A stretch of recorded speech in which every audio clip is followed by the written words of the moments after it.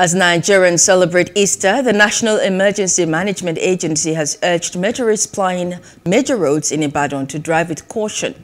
Oyo State Zonal Coordinator Nema Saheed Akiode made this call during his visit to Iwo Road to meet with traffic officers, park managers and motorists.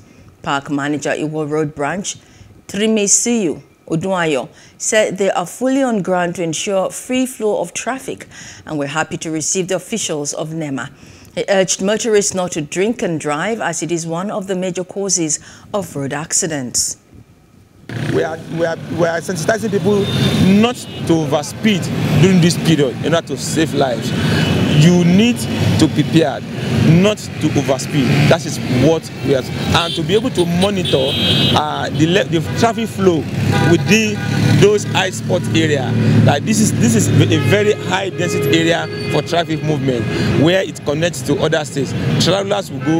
We need to sensitize them to drive safely, not to drink during these festive years. If you must drink, you must not drive. And if you must drive, you must not drink. lásìkò ọdún báyìí ká máa rọra ṣe ká máa fẹ̀sọ̀ máa po overloading ká dẹ̀ máa ṣe gidigidi láàrin ojú pópó ká rí i pé bá ti ń darí wa náà ni ká máa lọ níṣẹ̀ntẹ̀lé ká má kánjú torí pé téèyàn bá lọ dáadáa tó bọ̀ dáadáa ó ń lọ dáa jù ní ìdàkejì tábàdẹ̀ wa mọ́tò ká má ṣe mutí.